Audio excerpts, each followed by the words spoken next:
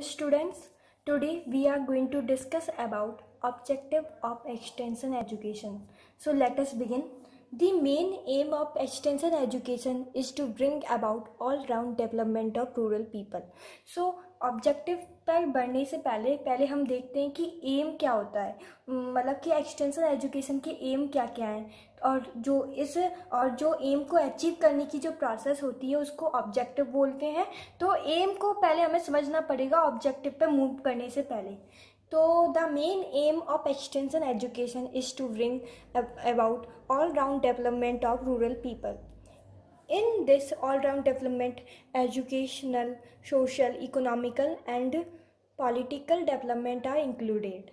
So the first aim is to bring change in the behavior, in work capacity and in attitude in a wider context. So the first aim of extension education क्या है? वो है कि हम behaviour को change करें। जो rural people है, उनके बिहेवियर को चेंज करें। यदि बिहेवियर चेंज हो जाएगा तो वर्किंग कैपेसिटी और एटीट्यूड तो अपने आप ही चेंज हो जाएगा। और यदि ये चेंज हो गए तो फिर उनका जो सोशल इकोनॉमिकल पॉलिटिकल और जो डेवलपमेंट है और एजुकेशनल डेवलपमेंट अपने आप ही एनश्योर्ड हो जाएगा। यदि उनका बिहेवियर चेंज हो गया तो। तो हमें सबसे पहले उनको, उनके बिहेवियर को चेंज करने वाली एक्टिविटीज़ को परफॉर्म करना होता है एक्सटेंशन एजुकेशन प्रोग्राम के अंदर। तो अब देखिए how to achieve these aim is known as objectives तो अब इसके ऑब्जेक्टिव्स क्या क्या होते हैं? तो पहला ऑब्जेक्टिव है to increase the net income of farmer by more production and proper marketing system तो पहला एम क्या है?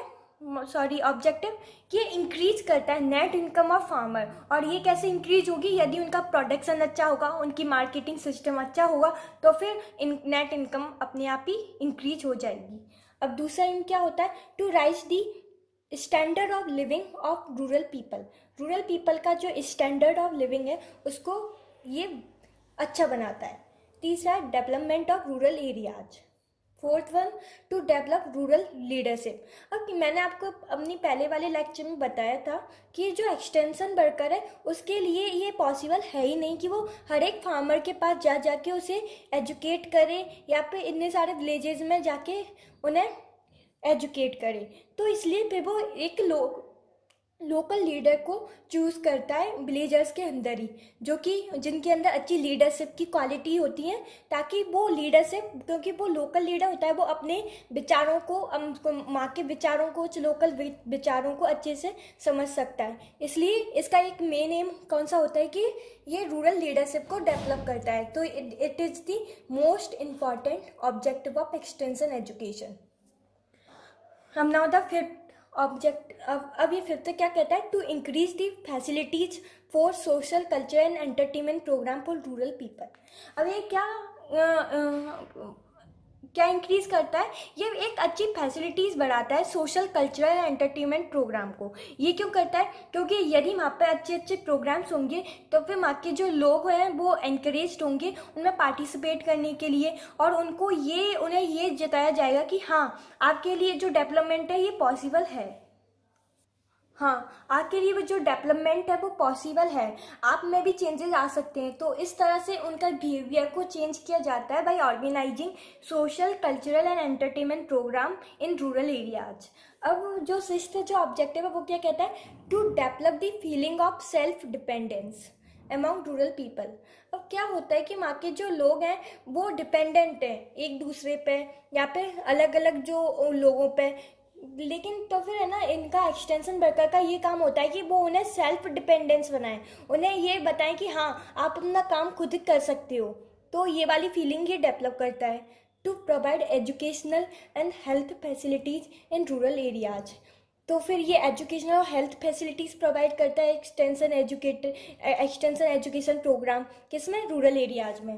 To train rural youth for development work to encourage rural people to participate in community program तो ये encourage करता है किसको? Rural people को कि वो पार्टिसिपेट करें किसमें कम्युनिटी प्रोग्राम में पार्टिसिपेट करें अपना।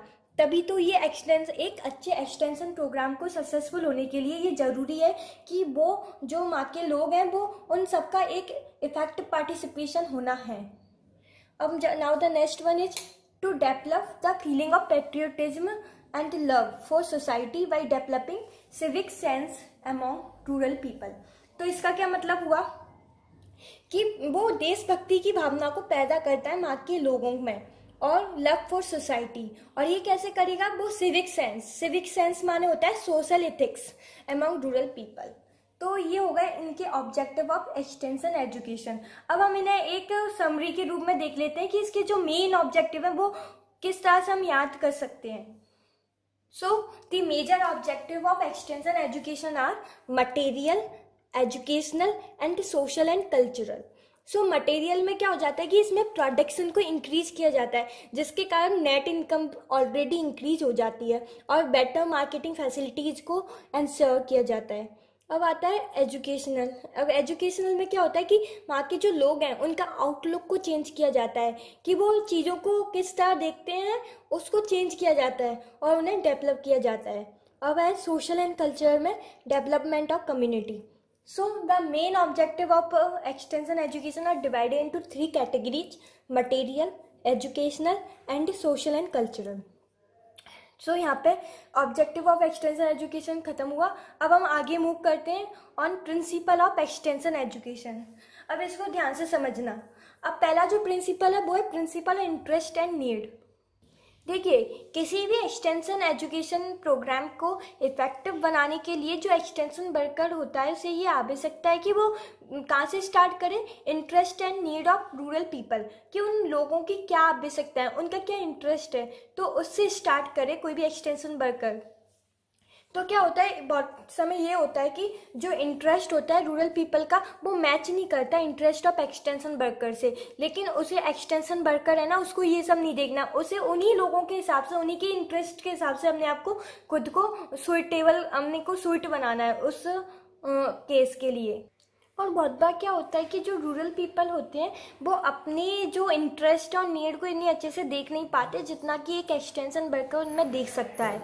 तो एक्सटेंशन वर्कर को क्या करना होता है कि वो उसी हिसाब से वर्क करे कि है ना कि जो जो लोग हैं के वो अपने अंदर क्या उनका इंटरेस्ट है, उनकी क्या नीड है, जो लोग देख पा रहे हैं तो वो एक्सटेंशन वर्कर है, वो उसी के हिसाब से उनकी, उस प्रोग्राम को स्टार्ट करे।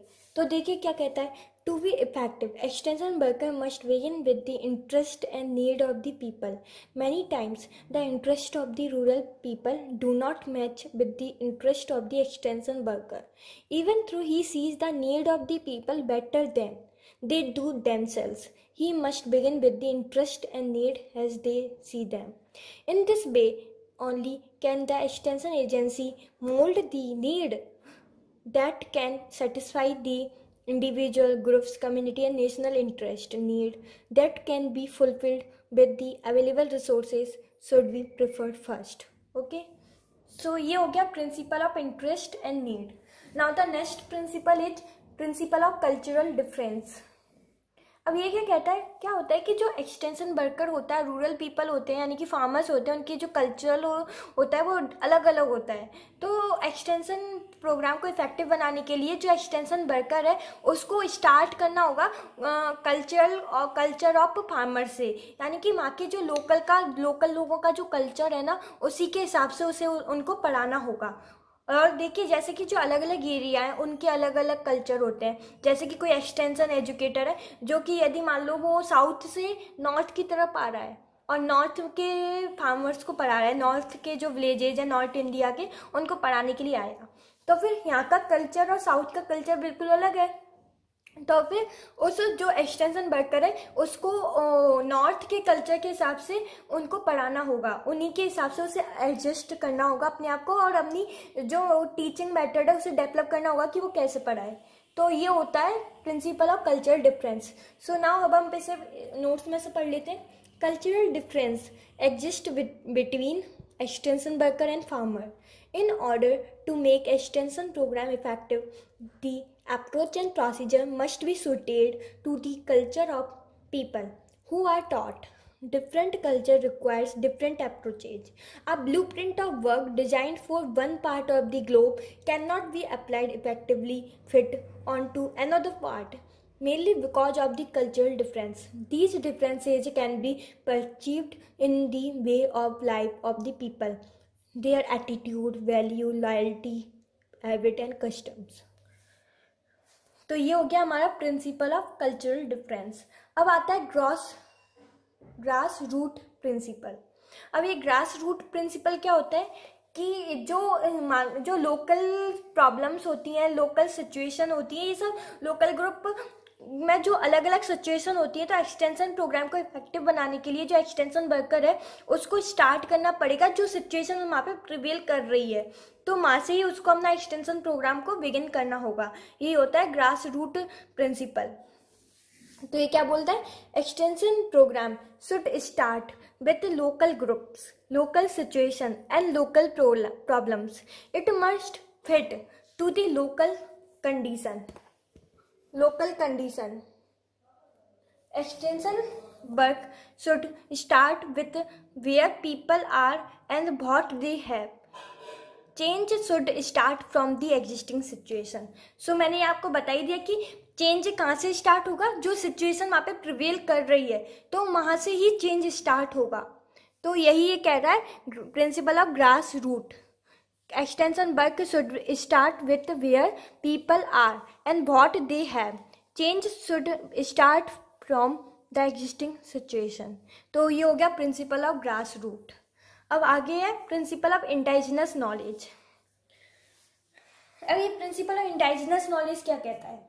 देखिए, जो लोग होते हैं, उनके जो एंसेस्टर्स हैं उनने अपने जीवन को जिया और अपने एक्सपीरियंस से बहुत सारे ऐसे मेथड डेवलप किए, जिनसे उनने अपनी प्रॉब्लम्स को सॉल्व किया।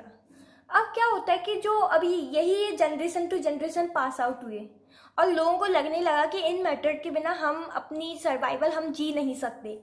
तो हमारे लिए, हमारी सर्वाइवल के लिए एसेंशियल है कि ये ये मेथड हम अपनाएँ और इन्हीं से ही, इनके बिना हमारा कुछ हो नहीं सकता। तो अब एक्सटेंशन वर्कर है। तो वो इग्नोर नहीं कर सकता किसको? इंडाइजनस नॉलेज को। तो फिर उसको उन, उनकी जो वो लोकल एरिया उसकी इंडाइजनस नॉलेज को पहले अंडरस्टैंड करना पड़ेगा।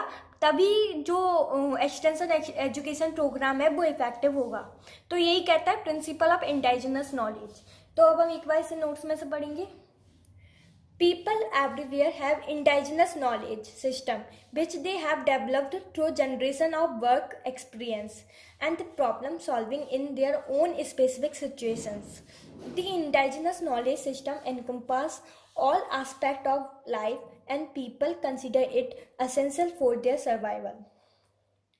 Instead of ignoring the indigenous knowledge system as outdated, the extension agents should try to understand them and their uh, ramification in the life of the people before proceeding to recommend something new to them okay? तो फिर कुछ नया बताने से पहले उसे आवश्यकता है कि वो अंडरस्टैंड करे इंडाइजिनस नॉलेज सिस्टम को। तो यही है हमारा प्रिंसिपल ऑफ़ इंडाइजिनस नॉलेज अब आता है principle of learning by doing तो ये क्या कहता है?